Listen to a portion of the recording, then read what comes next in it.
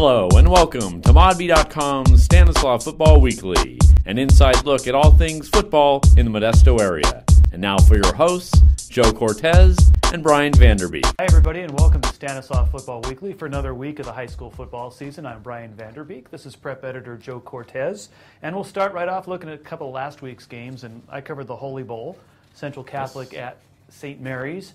It wasn't real close. Uh, St. Mary's pulling away to a 47 27 victory. Central Catholic is going to be able to run the ball. Uh, Reggie Bland, Matt Ringer, very effective in that huge line, and they were effective early running, running the ball, moving the ball rather easily on the Rams. Uh, but the Rams' speed caught up to them, a couple missed tackles, uh, forces Central Catholic to pass.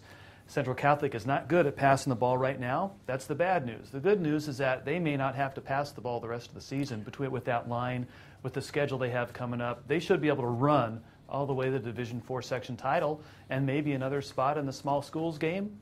They lost twice last year in the first four weeks of the season and then went to the bowl game and won it. No reason to think they can't do it again this year.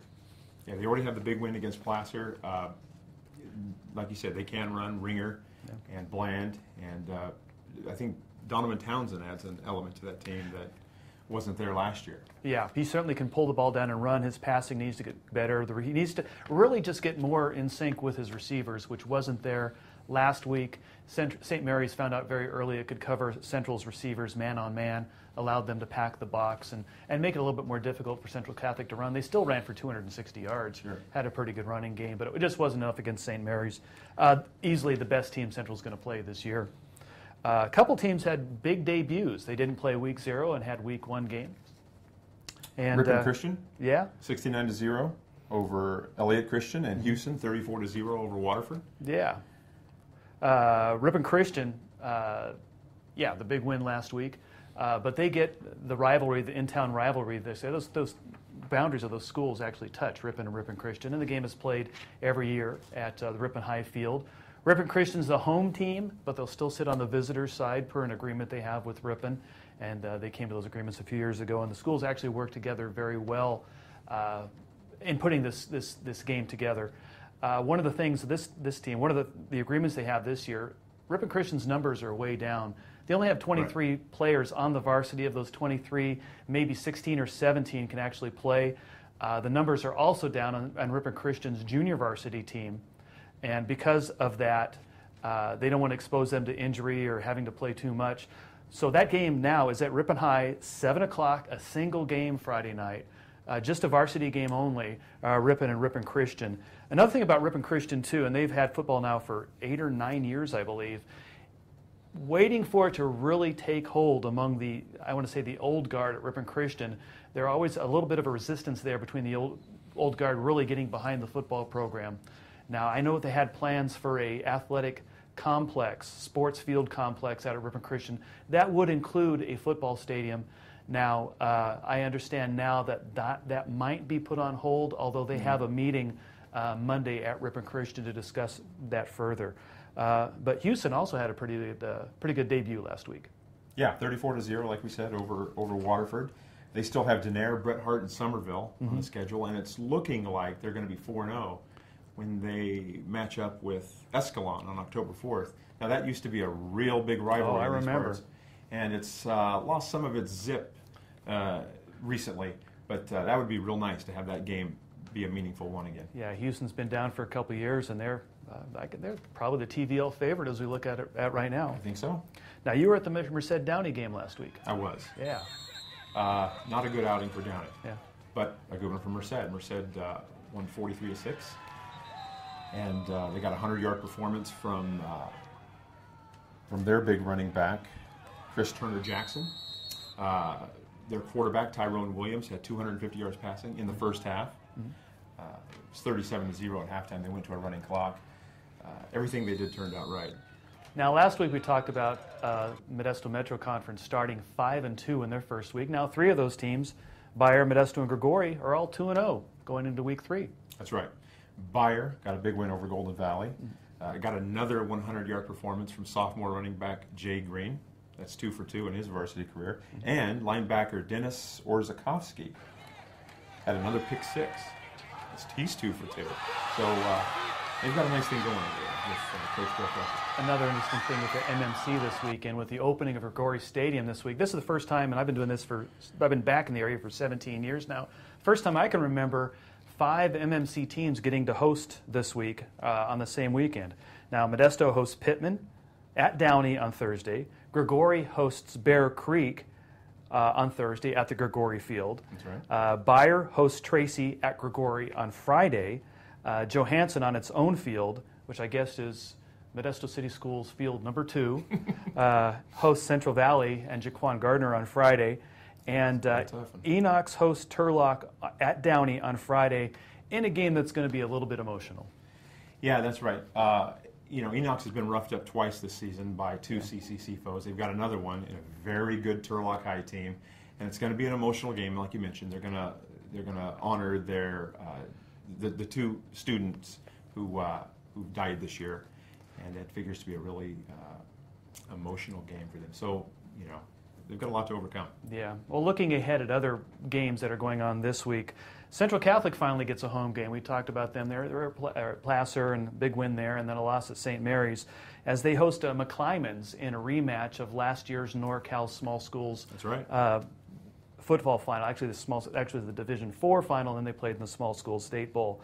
Uh, Central won that game 42 to 12 at Lincoln last year, and I covered that game. One thing I remember is the McClymonds coaching staff coming on the field mm-hmm. before the game Yeah. and saying, "Oh, Central hasn't seen speed like ours. Hasn't seen speed like ours." Opening kickoff, Ray Vega goes back, retreats to the five, fumbles, looks up, fumbles, looks up. McClymonds players are coming at it. He picks it up and talk about speed. He outruns the entire McClymonds team in front of the McClymonds bench to score on the opening kickoff of the game, and that kind of uh, negated speed after that. McClymonds, very talented.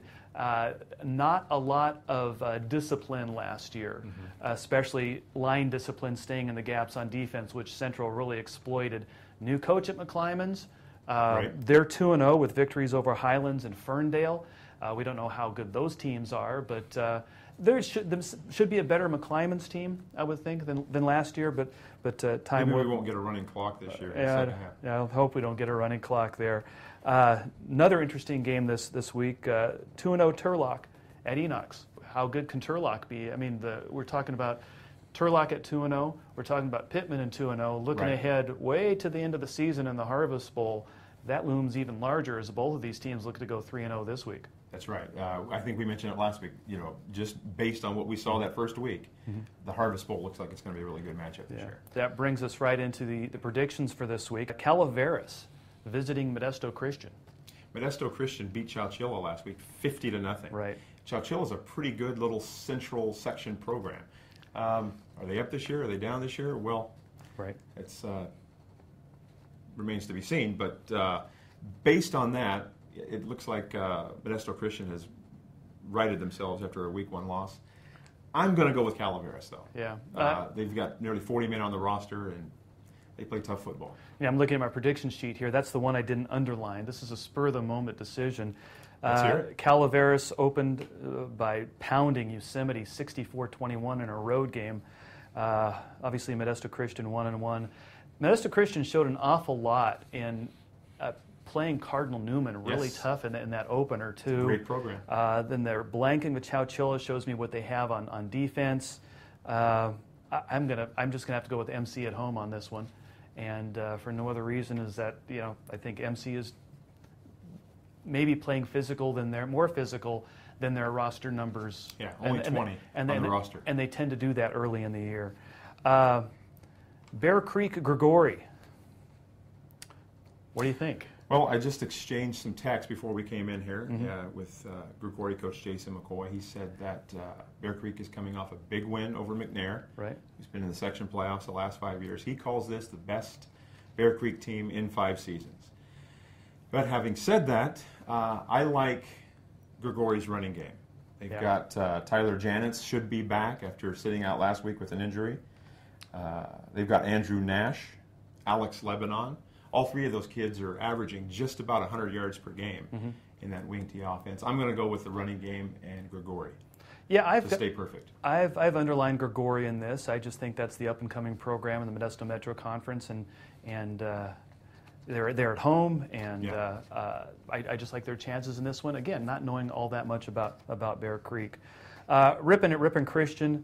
Um, talked about this game earlier. Uh, I, I've told Ripon coach Chris Johnson that this really isn't going to be considered a rivalry until Ripon Christian eventually Sure. wins this game. And I hope he's still not the coach at Ripon High when it happens, because there, there might be some, some protests there. I, I like Ripon in this game. Uh, Ripon big. Ripon is hasn't given up a point, outscoring its opponents was 96 nothing in the first two games. 93 is it. 93 nothing in the first two games. Uh, I think Ripon Christian scores. They, they've got some talent, and I think Ripon Christian scores in the game. But but Ripon should win this pretty easy. You mentioned that talent. Andrew Yeah. Brown for them last week had Yeah. se- accounted for seven touchdowns. Yeah. Rushed for five, received for two, and threw a touchdown pass. And uh, that overshadowed, overshadowed an effort by Casey Kemper, who ran for about a buck fifty. Yeah. Uh, so yeah, they're probably going to score some points, but traditionally this has not been a rivalry that's been close. Mm-hmm. And I like Ripon here. Yeah, Ripon Christian eventually will win this game. I, I, that's a prediction. I'm going out on a limb. Eventually. Eventually, will win this game. Care to say win? No, no, Okay. no, no. Some and our, our last prediction is uh, Tracy at Beyer in a game that's going to be at at Gregori on Friday.